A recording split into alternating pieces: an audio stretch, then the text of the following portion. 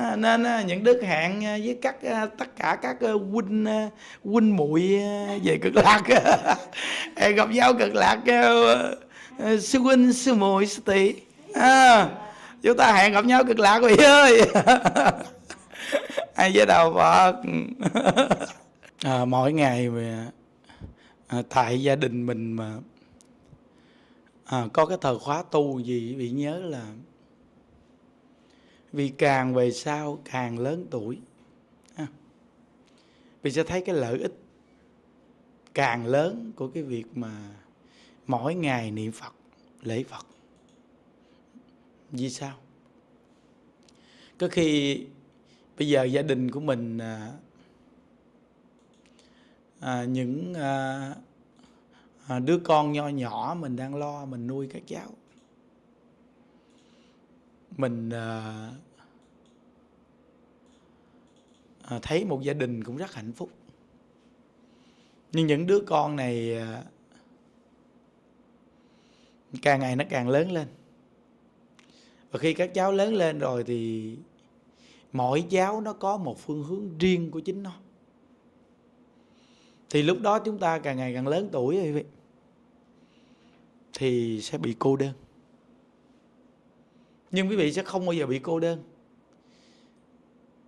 vì từ bây giờ là quý vị đã có, những ngày tháng quý vị đã có được cái việc biết niệm Phật, biết tu hành và có phương hướng cầu sanh cực lạc. Thấy không? Nên tại sao có nhiều người già họ bị cô đơn? Nhiều người già họ buồn chán là vì ngay chỗ nào? Vì ngay chỗ họ không được gầy dựng từ khi còn trẻ cái việc mà dụng công tu và có một phương hướng giải thoát. Chắc chắn 100% cái giá trị này lớn lắm, thật sự.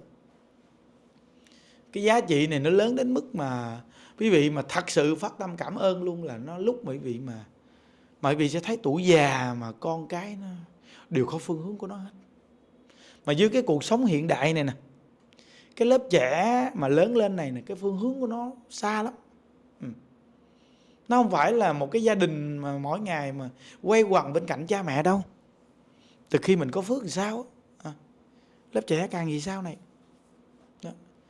nên từ nơi đó mà mình được cái phương pháp niệm phật lễ phật và có phương hướng giải thoát này nè mà nó càng tu tập thì nó càng có tâm giải thoát.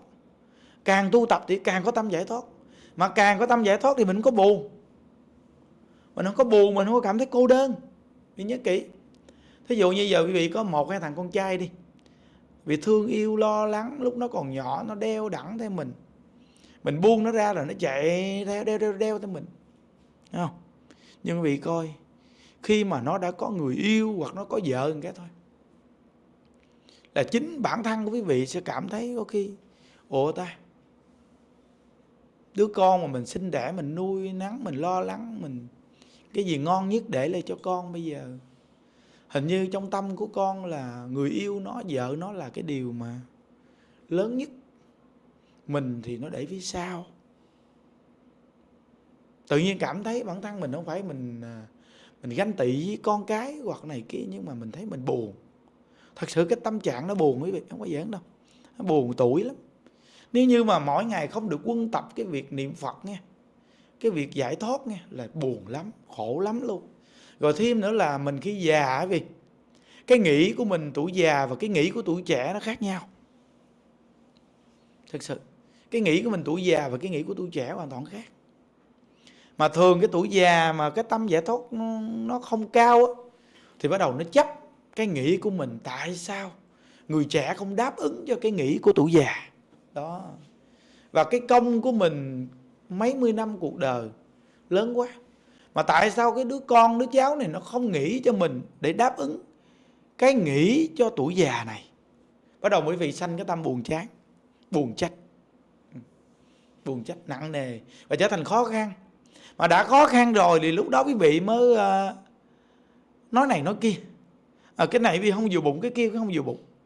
Quý vị ăn không ngon hoặc là quý vị thấy vợ con nó ăn ngon quý vị nói tuổi bay diện dị rồi mình nói. Cái nó nói ông bà già khó quá thấy chưa? Lúc đó nó nói, ông bà già khó quá. Có nghĩa là con người thường là chấp cho cái nghĩ của mình là đúng, cái nghĩ người ta cũng là đúng, nên nó đụng. Đó. Nếu như mà mình nuôi cái tâm giải thoát từ bây giờ nha quý vị, là tới đó bản thân mình sẽ thông tâm thông tâm liền. Ừ. tại vì mình có cái niềm vui an lạc của cực lạc tây phương rồi. Cái niềm vui này không có pháp vị nào mà so sánh bằng cái vị này hết nên cái vị vui của tây phương cực lạc nó lớn dữ lắm. Thì lúc đó quý vị mới thấy rằng, ô, lúc trước có một cư sĩ hô, đã nói những điều đó mà mình chưa có cảm nhận. Đến ngày hôm nay, người đó đã chết rồi. Bây giờ bây giờ mình mới cảm nhận rất là sâu sắc vì những lời nói của người đó. Hiểu không? Và những cái năm ngày tháng đó mình đã từng chữ cư sĩ hô, sĩ nhỏ vô cùng nặng nề, khạc nhổ đúng miếng vô mặt, tùm lum tùm lá. Nhưng hôm nay càng về sau, vì mình mới thấy cái tuổi già người hô đó nói đúng. Bây giờ chưa có cảm nhận ở đâu tại vì đức nuôi người già đức biết mà. Cho vị biết à, cái nuôi người già biết. Mà bây giờ á, người già chưa khổ quá đâu người già của đời minh nè khổ hơn nữa. Đó. người già của đời minh sẽ khổ hơn. Và người già của đời kế tiếp của con bé mà cháu gì tư đó sẽ khổ càng khổ hơn nữa cái người già của đời mình nè là khổ mà chưa đến nỗi nè. Và cái người già kế tiếp của cái cái lớp trẻ nhỏ đó, đó là sẽ khổ dữ lắm. Ừ. nên hòa thượng nên không nghe nói mà người già càng về sau càng khổ. Và người trẻ họ không biết thương người già. Họ cảm thấy người già là sự gánh nặng và cái phiền phức. Hiểu không? Đó. À, rồi tại vì nhà đức ờ, lo cho quá nhiều người già nhà đức kinh nghiệm rồi quý vị và có khi đêm hôm nhà đức đi ý mấy cái cụ khó khăn cái khổ mấy cụ. Từ cái ăn rồi nhà đức đi tìm hiểu hỏi hỏi han á. Thì nhà đức mới thấy cái tuổi già rất là khó tu khó giải thoát lắm. Ừ. từ khi các cụ nhìn thấu buông xuống nhìn thấu buông xuống. Ví dụ như mỗi ngày mà chúng ta mà những đức quý vị mà mặt đối mặt nhau nhìn nhau mà để niệm phật nên thì rõ ràng ấy. À, quý vị biết có những lúc mà những đức niệm phật mà những đức cứ cười cười có một cái cô cái cô mà diệu âm vậy đó. Cô nhìn cô ngộ lắm.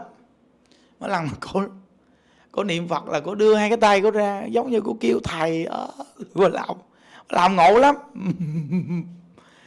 À, nên từ nơi đó mà tự nhiên mà những đức nhìn những đức mắc cười chị không nổi mắc cười.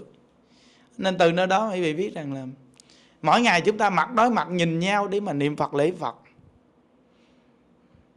không lẽ bây giờ chúng ta dính mắt nhau rồi không giảng sanh quý vị? Có chuyện này không quý vị? Không có đâu, tào lao quá. Nghĩa là bây giờ niệm phật thì như vậy thôi, con người sống trong cuộc đời này quý vị nhớ kỹ. Nó quý mến, thương yêu, đều là duyên hết quý vị đều là duyên hết thôi. Nhưng mà cái tâm mình đặt cái việc giải thoát là cái mạnh nhất bản thân mình phải đặt, từ tâm. Hiểu không? Có nghĩa là hữu tình chúng sanh đá đổ đi cái nhân duyên. Quý mến nhau thì không có độ sanh được cái gì chứ. Không có độ sanh được cái gì chứ, quý vị nhớ kỹ đây thí dụ như bây giờ đứa con bị bị thương nó, vì mới nuôi nó khôn lớn chứ. Khi nó đã khôn lớn rồi, nó đủ khả năng nó rồi, quý vị sẽ buông nó ra khỏi tầm tay bị thôi. Hiểu không? Cái nguyên lý nó là như vậy thôi quý vị. Đó. Nên có những người họ không hiểu họ cho rằng bản thân của mình là người giải quyết vấn đề giảng sanh cho người khác. Sai hoàn toàn. Ừ, sai hoàn toàn. Nên cái quy lực của nhân quả nó theo cái quy lực của sanh già bệnh chết tự nhiên nó không phải là theo cái quy lực ngược đâu quý vị. Giống như một cái cây chúng ta ờ, gieo hạt thì nó lên từ từ từ từ cái đó là theo quy lực tự nhiên. Con người khi sinh ra là phải nhỏ nhỏ xíu thôi từ từ thì lớn lên từ từ nó theo quy luật tự nhiên thấy không? Nó theo quy luật tự nhiên của nó. Và con người chúng ta chỉ là giúp người tăng thiện duyên. Mà vì vị biết giúp người tăng thiện thì, giúp người tăng thiện duyên là ngay chỗ nào? Là ngay ở đâu quý vị biết không? Chúng ta đã rất nhiều người sai lầm và chính bản thân mình đã bị tác hại. Chỗ này nè quý vị chúng ta có tâm từ bi muốn giúp người tăng thượng duyên, nhưng mà mình lại không chịu tu hành. Đó, chết chỗ này nè. Quý vị biết tăng thượng duyên cho người là chỗ nào không? Là mình phải dụng công tu và mình phải an lạc. Người ta sẽ nhìn thấy mình và tăng thượng duyên. Đây là phù hợp nhất của định luật nhân quả. Phù hợp vào lời kinh dạy luôn là chưa độ mình làm sao độ người. Chúng ta không bao giờ nói độ người khác. Chúng ta là cùng độ nhau cùng giúp nhau cùng giúp nhau để tăng thượng duyên. Những đức nói một trăm phần trăm nếu không có quý vị những đức cũng không thể nào tu một ngày năm thờ. Chắc chắn quý vị luôn. Mà những đức nói rằng không có những đức quý vị cũng chưa chắc tu năm thờ của một ngày. Đó. Nên những đức cùng quý vị phải quý, quý vị nghe chỗ này phải công nhận phù hợp không? Nó quá phù hợp luôn nó phù hợp vào cái chỗ là chúng ta cùng giúp nhau mà nếu những đứa không lễ phật, những đứa không tu, những đứa có nói gì quý vị cũng không tu năm thờ đúng không? Cái này là rõ ràng rồi. Vậy thì giúp người tăng thượng duyên phù hợp nhất là gì? Bạn phải dụng công tu. Bạn phải dụng công tu, bạn phải niệm phật, bạn phải lễ phật, bạn phải an lạc thật sự, bạn mới thật sự giúp người khác tăng thượng duyên. Nên rất là nhiều người chúng ta đã bị thất bại ngay cái chỗ là chạy đầu này, chạy đầu kia, chạy đầu nọ, muốn đi độ người. Mà mình không dụng công tu, cuối cùng không ai thành tựu hết. Vì Phật nói chưa độ được mình thì không bao giờ độ được người. Như vậy thì tại gia đình của mình, họ tu không tu, mặc kệ họ, chúng ta phải tu và chúng ta phải an lạc, chúng ta phải vui, chúng ta phải tha thứ hơn họ, chúng ta phải khoan dung hơn họ, tâm lượng mình phải lớn hơn họ và mình chịu thiệt được hơn họ những cái gì họ cần là cái đó họ dành được kể họ. Chúng ta không cần dành với họ. Chúng ta đều hơn họ mọi mặt như vậy. Thì tức khắc quý vị giúp cho họ tăng thượng duyên. Họ chỉ nhìn từ quý vị mà bị cảm hóa. Một trăm phần trăm luôn. Vì họ thấy rằng, họ thấy rằng rõ ràng quý vị là người dụng công tu nên cho quý vị biết, cái người mà không tu và cái người mà tu hai vị trí này, nếu không khéo nó có một sự đối lập mà cái người tu mình không khéo tức muốn chào máu. Nó thật sự. Nghe một cái câu nói này của một cái cái anh chàng này, anh nói một câu, tôi không có tu, tôi không có tôn giáo gì hết á, đừng nói tôi là phật tử. Nó, nên nhớ kỹ cái câu, tôi không có tu, tôi không có tôn giáo gì cả, tôi không có tôi không có uh, tu hành. Tôi là một người bình thường. Nên á tôi nói cái gì phải nghe cái nấy. Tôi nói không có được cãi tôi. Nó tức ghê không? Quý vị thấy không? Nếu quý vị mà không có tâm tu giải thoát vì chịu không nổi vì vì cử lại là vì sai thì họ nói họ là cư sĩ bình thường họ nói câu ồ tôi đâu có là, là, là, là người tu đâu bây giờ mà tôi có nói gì đi chăng nữa tôi có chửi đi chăng nữa thì cứ nghe đi ai chửi mắng thì ta giả điếc, cứ giả điếc đi. Mấy người tu mà bị cự lên tôi làm gì? Ghê không? Nếu như quý vị mà không thông tâm quý vị chịu nổi không quý vị? Đó cũng là cách để mà rèn luyện người tu mình thật sự. Bạn có chịu nhẫn thiệt cái không? Nó nên bạn là người tu mà bạn đi đi gọi là trả đũa với người không tu thì bạn hoàn toàn thua thiệt. Sai là ở đâu? Sai là ở người tu của mình. Sai là ở người tu của mình quý vị nghe cái tự nhiên nhận đức rồi rõ ràng nơi cho thị phi với chính đức cho rõ bây giờ có cái tu ở nhà lo mà tu hành gì thấy không nó nên họ nói họ không có tu nhưng mà họ lại dùng cái câu gì cái câu gọi là như nãy đức nói nói không ai chữ mắt ta giả đi nghĩa là họ chữ chỗ nào chữ gì bị cứ đi hết đi tại vì là người tu còn bị cử lại vì không phải là người tu đó. Nó, nó cứ như vậy mà nhận thức. Thấy chưa? Nên từ nơi đó mà người tu hành mình đã nói mình tu muốn sanh cực lạc. Thì quý vị thấy rằng mình muốn sanh cực lạc thật hay không? Nó ngồi suy nghĩ đi. Mình có thật sự muốn sanh cực lạc hay không? Diệu ngọc. Nó, muốn sanh cực lạc thật thì dù cho là đi làm, cấp trên có chửi mắng, có nói như thế nào, mình bản thân mình cứ thấy bản thân mình chưa được tốt, cố gắng hơn nữa.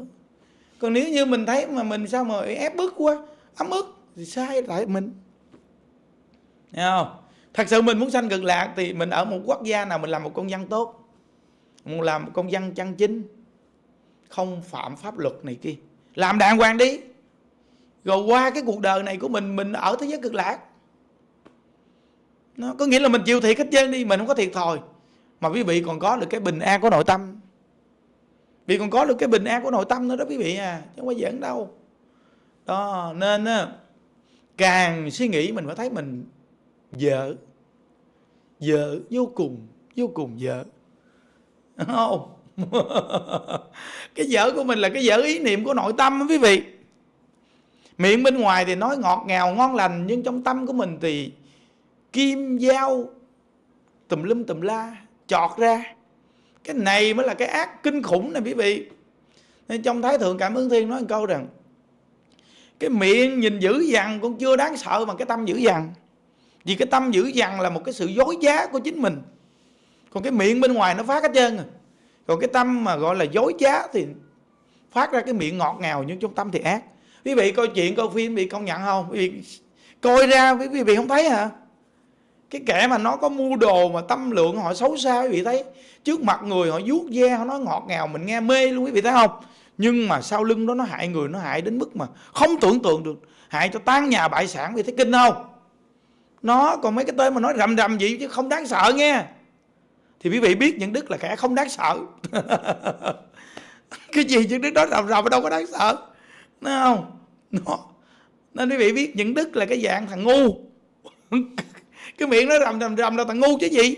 Cái gì nó thẳng thẳng thẳng hết trơn là thằng ngu. Đúng không? Còn người ta không cần phải nói gì cả. Ta im điềm phía sau mình ở phía trước có gì thì mình mình hước hết trơn. Thì mình là thằng ngu.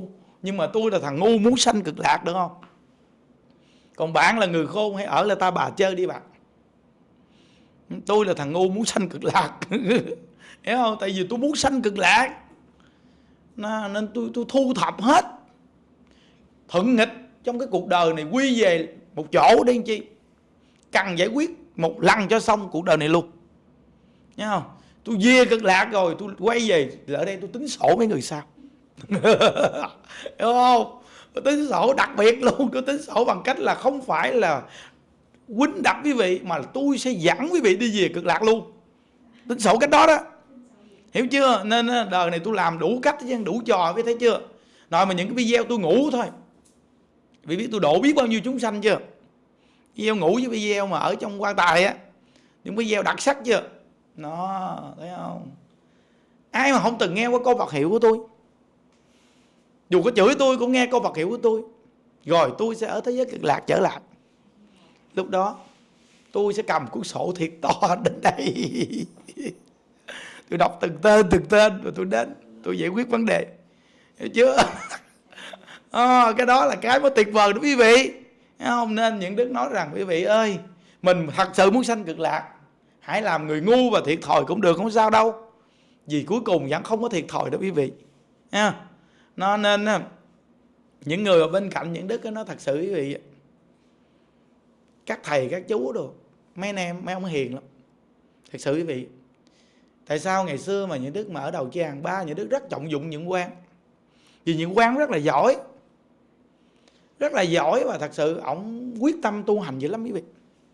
Mà người thường có cái tâm quyết tu hành như vậy thì họ gặp một sự cố gì ưa ngã ngửa lắm. Những đức là khác những đức không có ngã ngửa. Người như đức ngộ lắm. À, người như đức là muôn biến dạng hóa nó khác. Còn những quan là cái tâm của ổng là cái tâm muốn tu hành giải thoát. Ổng ổng đặt một cái cái cái tâm quyết tu và ổng có một cái, cái quyết chí mạnh dữ lắm. Nhưng mà tu hành trong cuộc đời phải muôn biến dạng hóa phải tin nhân quả thông được chỗ này nữa thì mới sống trong cõi đời này. Tu hành mới chịu nổi. Chứ nếu không bức cái tâm ghê lắm. Vì nó không bao giờ theo cái ý của mình được. Mình tâm quyết tu nhưng mà phải muôn biến dạng hóa. Nên người tu á, hòa thượng niên không này nói tại sao trên bằng thờ cúng phật chỉ cần một ly nước cũng được? Khỏi nhang đồ cũng được.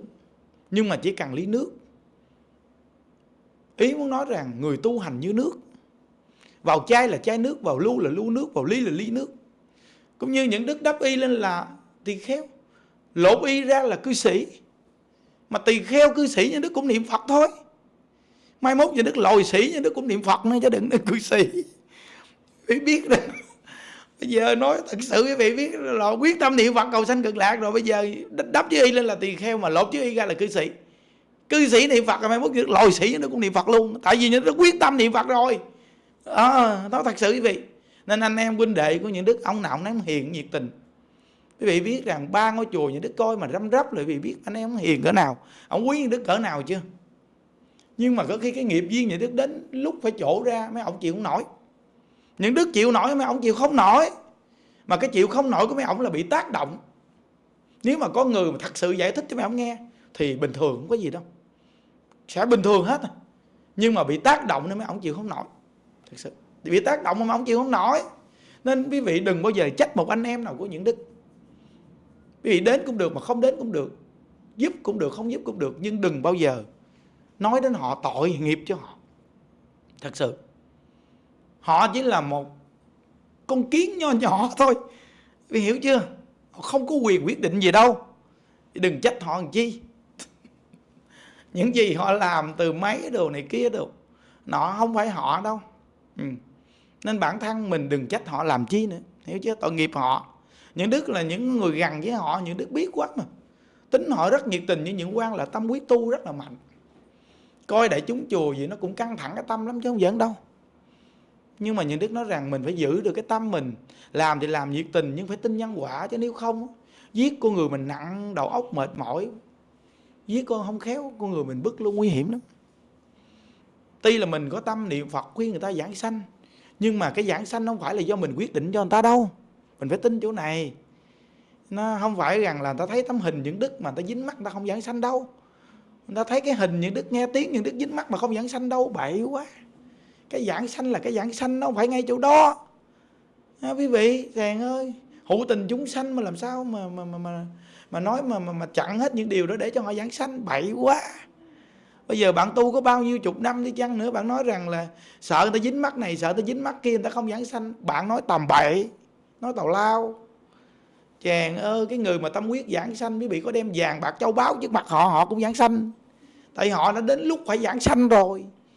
Còn họ chưa đến lúc giảng sanh vì đem vàng bạc châu báu đến họ túm đi hết. Thì chuyện này bình thường.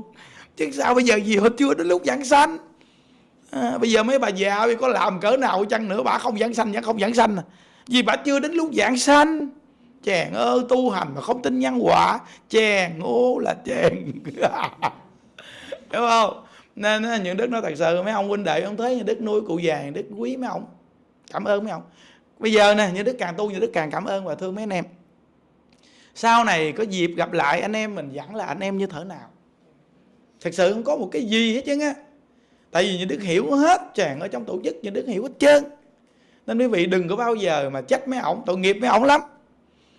Có nghĩa là đã ở trong á, một cái tô to thì mình chỉ là con cá thôi thì cái loại cỡ nào cũng loại trong cái tô mà thôi. Tội cho mấy ổng hiểu chưa mấy ổng không quyết định được gì đâu. Nên từ nơi đó chỉ sao thì làm vậy thôi. Nên trách mấy ổng thì tội nghiệp cho mấy ổng. Nên giúp đỡ cho những cái hạt giống còn yếu ớt đó để họ có thể làm được như những đức 10 năm 20 năm thì quá tốt. Lợi ích cho các cụ già ha nhưng mà quý vị cũng phải giữ cái tâm tu của chính mình. Hãy khéo léo quý vị ơi. Nơi chốn thị phi thì khéo léo tránh bớt. Ở nhà nên có thời khóa tu hành. Chứ không phải hộ trì mà mất đi cái huệ mạng của mình đâu nghe quý vị. Kể vì làm việc tốt vì cứ làm, hộ trì ai thì vì cứ làm. Nhưng nếu như quý vị không biết lo chuyện giải thoát cho mình thì bị gan chịu còn những đức thì cố gắng tôi sẽ về cực lạc. Có nhiều người nghe câu này nói ông mà về cực lạc ông về cực khổ thì có. Thì kệ tôi tôi muốn về cực lạc tôi muốn vậy thôi. Chừng nào phật rước tôi thì tôi về. Không? Miễn sao mà tự tại thì thôi chứ. Ha. À, nên à, những đức hẹn à, với các à, tất cả các à, huynh à, huynh muội à, về cực lạc. À, gặp nhau cực lạc à, sư huynh sư muội sư tỷ à, chúng ta hẹn gặp nhau cực lạc quý vị ơi. Ai với đầu phật. À, chúng ta hẹn gặp nhau cực lạc nghe. Ai với đạo phật.